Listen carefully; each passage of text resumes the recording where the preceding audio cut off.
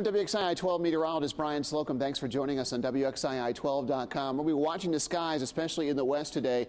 A warm front, as it begins to lift into the region, will usher in a line or at least a pattern of occasional showers and storms. First batch already moving in, with another batch uh, slated to move in later today and into this evening.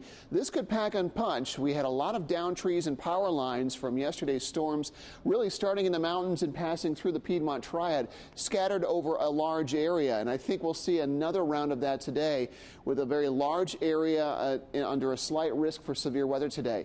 Damaging winds will be the primary threat today out west in Nebraska. They could see tornadoes. That is not going to be an issue here. Uh, some hail is possible, but winds will likely be the biggest problem. Rain chances best in the west today, 82 degrees, the high, close to 90 for the Piedmont. We'll see sunshine early with increasing clouds later in the day, and we'll keep a storm threat around at least through the evening before beginning to bring that down later on tonight. Lows expected to drop to near the upper 60s by early tomorrow. It's going to get hot too tomorrow, depending on when those storms roll in. We can see highs reaching the lower 90s.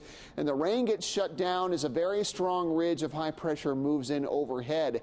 And the combination of warm, humid conditions in place and that stable sinking air compressing that air and raising those temperatures will drive numbers at least into the mid 90s. A few spots could see upper 90s or might even make a run at the century mark across our southern Piedmont locations uh, sometime around the middle part of the week.